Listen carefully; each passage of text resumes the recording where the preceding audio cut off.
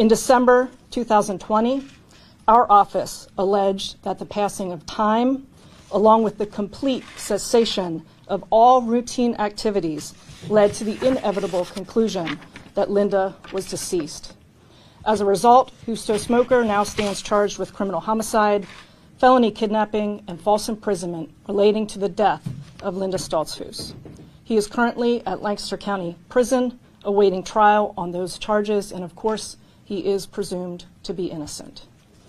Yesterday, on what was the 10 month anniversary of Linda's disappearance, members of the Federal Bureau of Investigation, the East Lampeter Township Police Department,